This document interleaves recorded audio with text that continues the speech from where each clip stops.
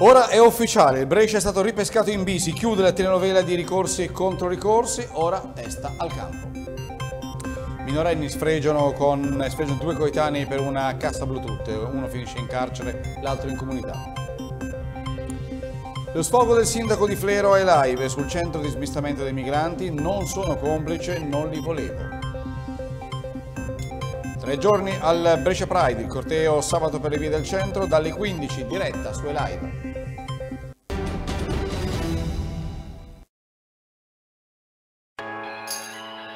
Siamo una banca fatta di persone, per le persone. Abbiamo radici forti e solide. La fiducia dei nostri clienti è la nostra forza. Da oltre 125 anni vicini a imprese e famiglie. BCC Agro Bresciano, sempre al tuo fianco, per costruire un futuro migliore.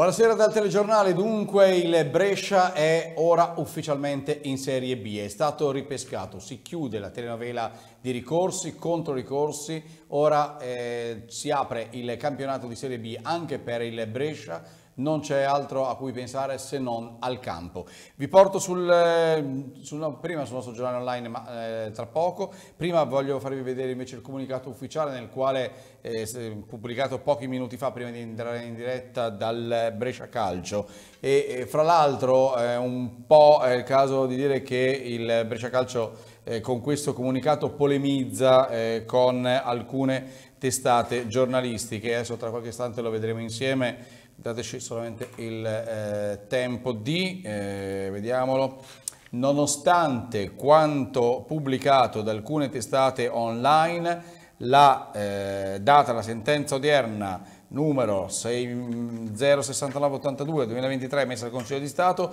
Brescia Calcio ne accoglie con grande soddisfazione l'esito. La società intende ringraziare il team difensivo nelle persone degli avvocati Presutti e Fenoglio che hanno seguito il lunghissimo caso in modo accurato e professionale e l'onorevole Simona Bordonali per il prezioso appoggio. La vita difficilmente offre una seconda possibilità. Noi, rappresentanti del Brescia Calcio, dobbiamo cogliere nel miglior modo possibile questa importante opportunità. Subito ho voluto darvi il eh, comunicato appunto del Brescia Calcio. Sul nostro giornale online in home trovate anche la sentenza, questa è la home del, di elivebrescia.tv.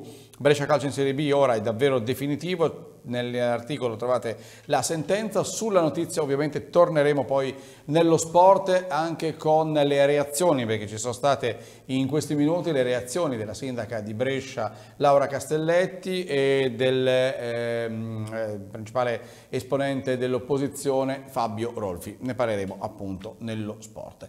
Ora invece voltiamo pagina, siamo alla cronaca, l'abbiamo ricordato anche nei titoli del nostro giornale, di nuovo i minori finiscono eh, sotto i riflettori purtroppo per atti di violenza. Sono stati due minori che pensate hanno eh, preso, sfregiato eh, dei, um, degli altri minorenni, quindi eh, altri ragazzi coetanei, per una cassa Bluetooth. Due minorenni sono stati arrestati perché ritenuti responsabili di una rapina avvenuta all'oratorio di Fiumicello. I due non si erano però limitati solo a questo, avevano infatti anche sfregiato e aggredito le vittime dopo averle derubate di una cassa Bluetooth. I sospettati si sono dati alla fuga dopo il colpo.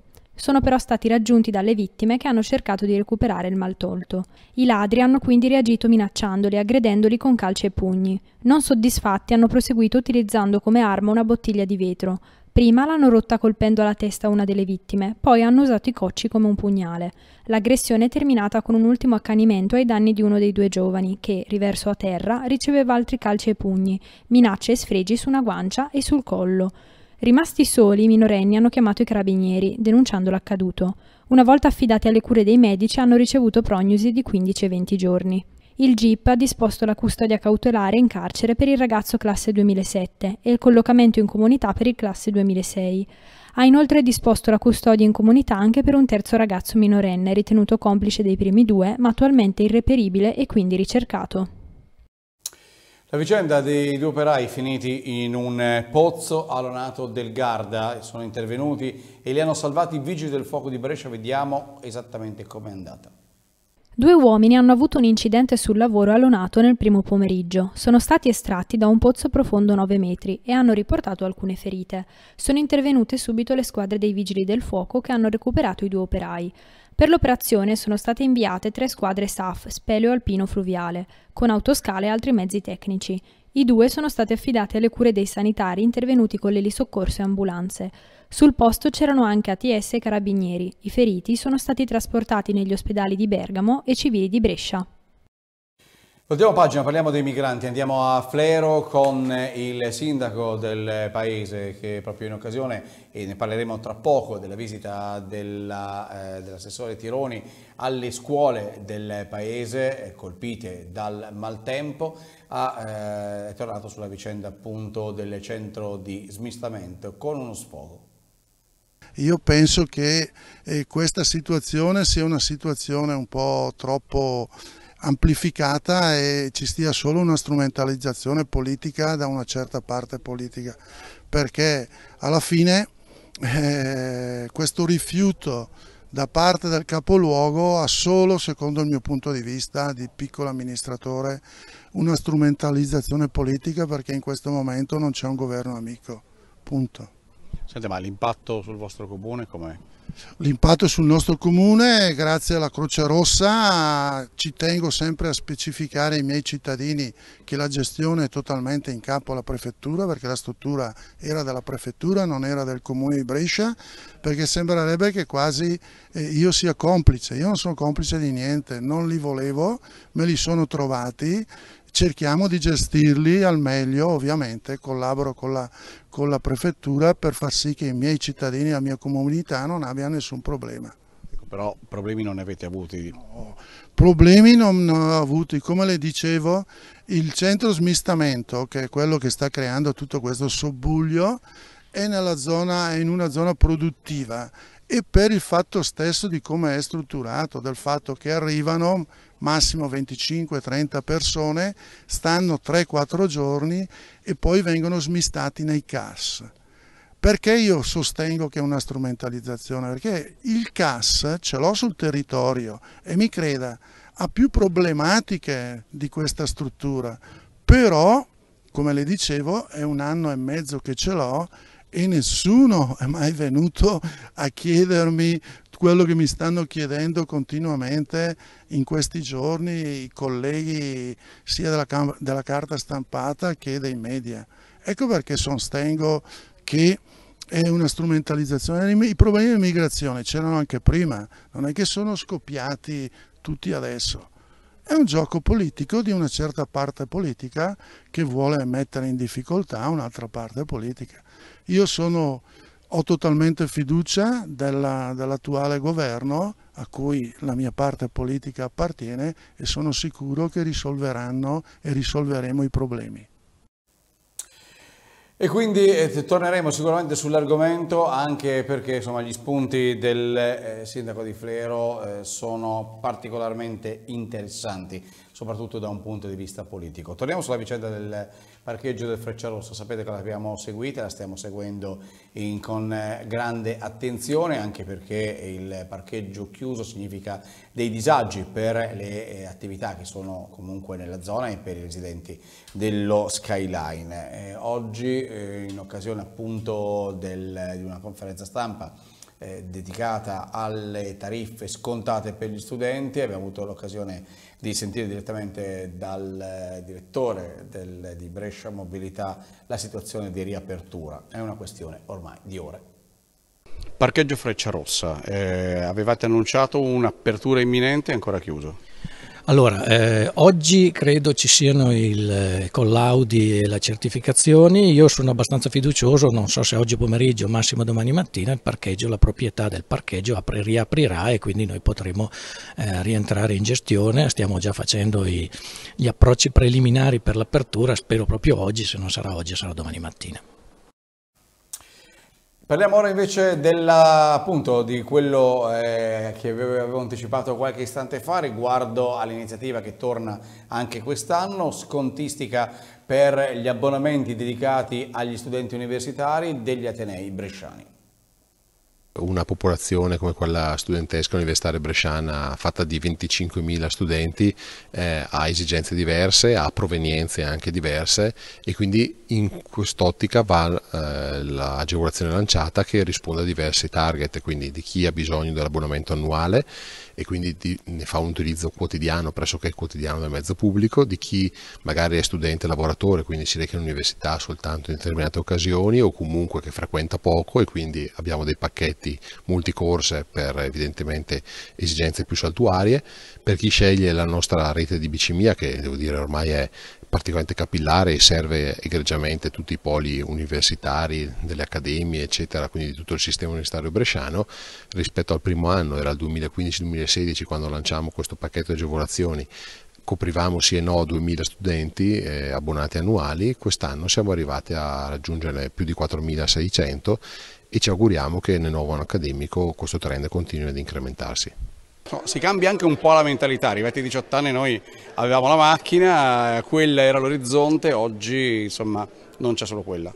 Sì, in Europa è così e sta diventando così anche nel nostro paese. Eh, dobbiamo naturalmente aiutare questo cambio di mentalità, i ragazzi sono sicuramente più attenti. Eh, credono nella sostenibilità e quindi è importante che ai 18 anni non sia il momento della macchina, ma si possano usare gli altri mezzi e si possa gestire la propria vita in città o varie, nelle varie località in maniera eh, più razionale, più sostenibile. Per questo c'è questa iniziativa importante con i partner eh, di tutti gli enti universitari bresciani e con il comune lo sconto del 50% per gli studenti universitari. I numeri sono cresciuti, possono crescere ancora, noi crediamo che i ragazzi siano soddisfatti di questa iniziativa, la stanno usando bene e quindi avanti così. Parlando appunto del discorso scuola, ci sono state molte scuole, molti edifici che sono stati danneggiati in provincia, soprattutto eh, dal maltempo. La Regione Lombardia è intervenuta con un fondo dedicato a Brescia da 1 milione e 600 mila euro. Oggi alcuni sopralluoghi dell'assessore eh, Simona Tironi negli istituti della provincia. Stiamo lavorando in modo tempestivo e concreto per eh, dare una risposta al nostro territorio che è stato messo in ginocchio dal maltempo. Eh, il tour di oggi prevede un eh, sopralluogo nelle scuole più colpite ma soprattutto negli otto comuni della nostra provincia di Brescia che, eh, ai quali è stato destinato un contributo a fondo perduto per la loro richiesta insomma urgenza di eh, intervento, di pronto intervento sugli edifici per garantire eh, la sicurezza ma soprattutto l'agibilità.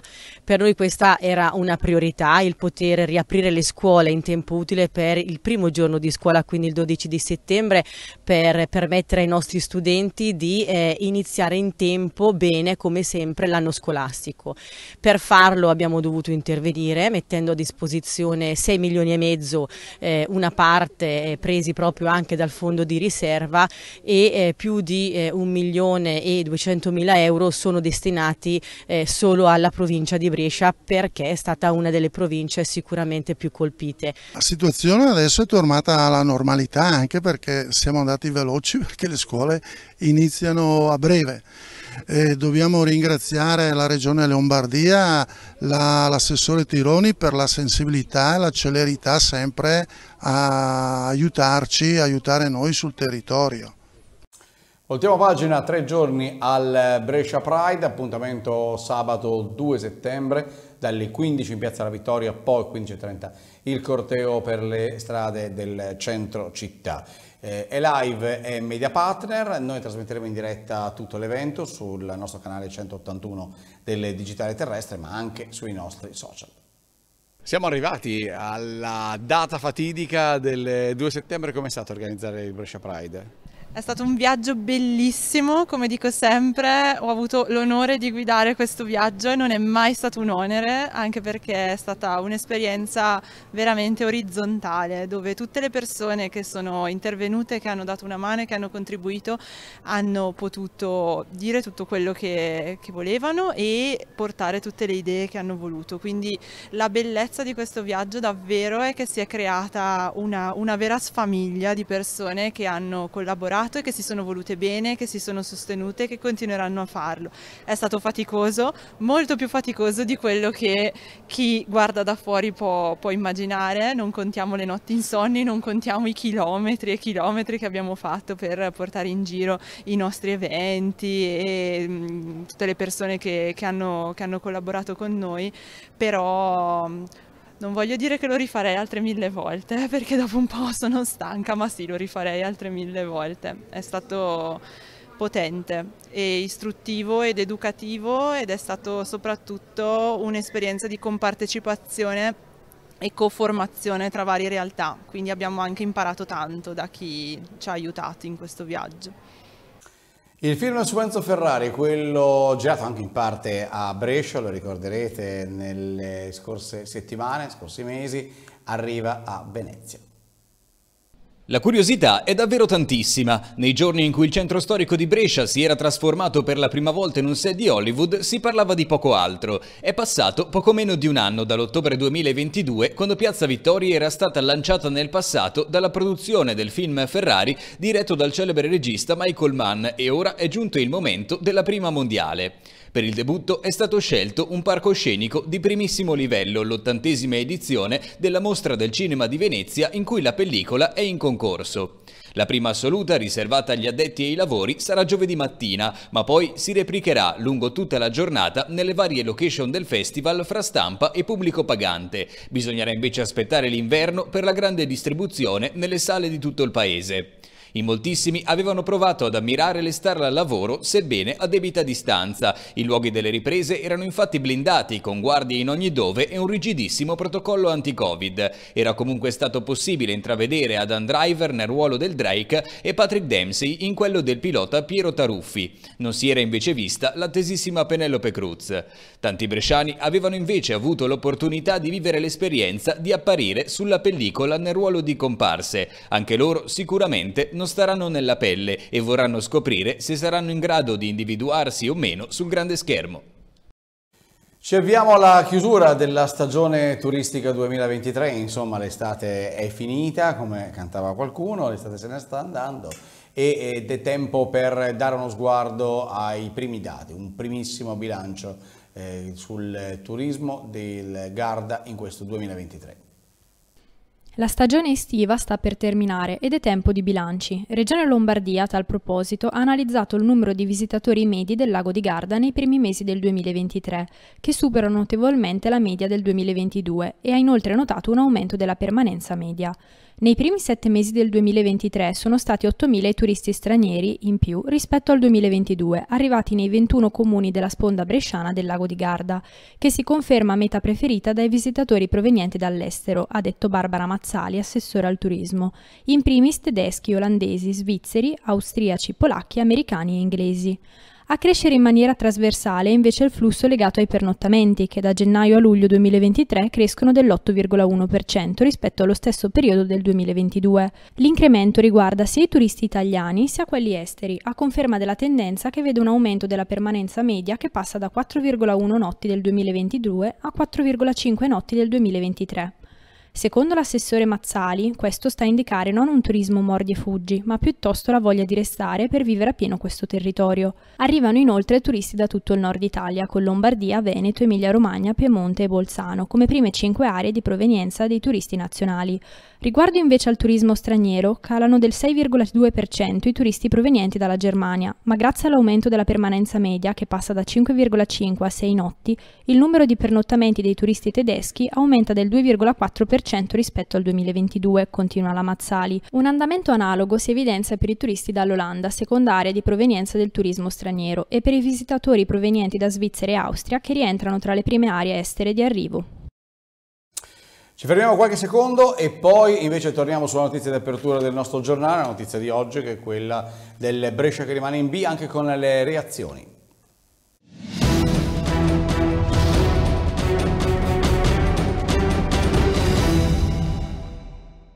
Puoi rivedere questa edizione del telegiornale nella sezione e live play del nostro sito internet o riascoltarla in versione podcast su Spotify, Apple Podcast, Spreaker e Google Podcast.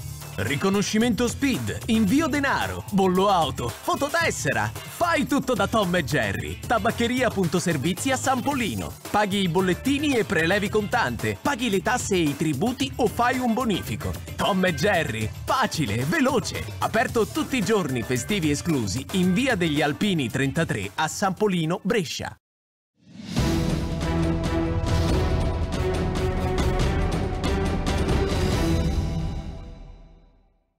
Buona serata anche agli amici sportivi. E allora il Brescia dunque rimane, e anzi rimane in Serie B ma viene ripescato in Serie B forse è più corretto dire, al termine di una telenovela veramente lunghissima, anche oggi è stata veramente una giornata eh, da frullatore, prima la notizia insomma, che era data per certa, poi di nuovo messa in dubbio, poi è arrivata la sentenza insomma, su carta scritta e quindi la certezza che il Brescia fosse stato appunto ripescato. Ci sono, intanto vediamo allora com'è andata. Il Brescia Calcio giocherà in Serie B. Dopo una lunga estate caldissima, più nelle aule di tribunale che sul campo, è arrivata la decisione definitiva. Niente più appelli. Il Consiglio di Stato ha rigettato il ricorso della regina che chiedeva di essere riammessa, aprendo così le porte della cadetteria alle rondinelle. Ora manca solo il passaggio esclusivamente formale nel Consiglio della Federazione che dovrà ratificare la decisione presa dal CDS. È stato un pomeriggio di attesa convulsa fra conferme, indiscrezioni e smentite. La sentenza era attesa dopo l'ora di pranzo e sembrava che in effetti fosse arrivata. In realtà poi c'è stato un passo indietro fino a quando la sentenza è stata pubblicata poco prima alle 18. Il Consiglio di Stato in sede giurisdizionale, sezione quinta, definitivamente pronunciando sull'appello come in epigrafe proposto, così decide, si legge nel dispositivo. Respinge il ricorso principale e per l'effetto conferma la sentenza del Tribunale amministrativo Regione del Lazio. Parole che fugano quindi ogni dubbio e che riportano il Brescia in Serie B dopo la retrocessione del primo giugno. Questo significa che con tutta probabilità già domenica si tornerà in campo per la sfida. Corsi e ricorsi contro il Cosenza in una Rigamonti a porte chiuse. Prima si dovrà però passare dall'atto formale della ratifica da parte del Consiglio federale e da un mercato che con tutta probabilità sarà prolungato. Vi porto sul nostro giornale online per chiudere perché ci sono state le reazioni alla notizia, quindi di poco fa Brescia con, eh, che rimane in Serie B Laura Castelletti, sindaca della città, dice un, potrebbe essere un nuovo punto di partenza. Andiamo insieme a leggere la breve dichiarazione. Accolgo con grande piacere la notizia della riammissione del Brescia in Serie B. L'auspicio è che questa opportunità possa essere un nuovo punto di partenza per tutti, lasciando alle spalle le amarezze del passato e avviando una collaborazione costruttiva per il bene dei colori della nostra città. Auguro quindi al Brescia Calcio e a chi ama questo sport di vivere una stagione ricca di soddisfazioni. C'è stato anche il commento, lo vedete, di Fabio Rolfi, esponente dell'opposizione. Eh, È una bella notizia perché la giustizia ha finalmente trionfato, non c'è sport senza rispetto delle leggi e delle regole, anche se il Brescia ha perso il campo, in campo lo ha fatto rispettando le leggi, hanno dichiarato i consiglieri comunali della civica di Fabio Rolfi, sindaco alla luce del pronunciamento del Consiglio di Stato, quindi la dichiarazione di eh, Fabio Rolfi e Max Battagliola. Il dettaglio lo trovate sul nostro giornale online, qui trovate anche tutte le notizie che continuano ad aggiornarsi in tempo reale sul nostro giornale online e livebrescia.tv, la diretta del nostro canale 181 del digitale terrestre e tutto trovate anche nella nostra app che potete scaricare gratuitamente da Apple Store o da eh, Google Play. Grazie per essere stati con noi, per aver scelto il nostro telegiornale, buona serata e ci vediamo domani.